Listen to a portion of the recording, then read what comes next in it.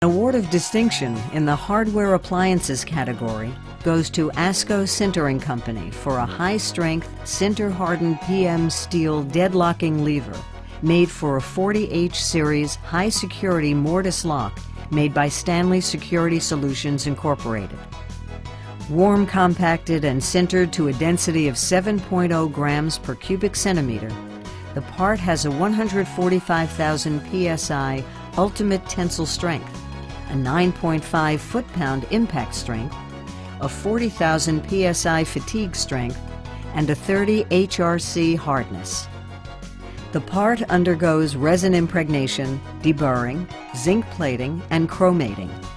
By eliminating a milling operation, which uses cutting fluids that may contain harmful chemical agents that ultimately contribute to the greenhouse effect, PM not only provided a 40% cost savings, but clearly demonstrated PM's sustainability advantage.